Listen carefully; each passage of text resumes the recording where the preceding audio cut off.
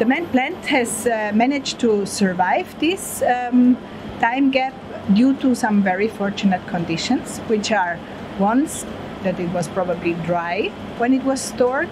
and that it was deep enough down in earth because there must have happened something which we don't know what it was that buried it very deeply. So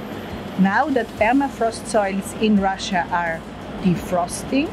we are finding um, uh, testimonies of these ancient times which we did not even expect to find.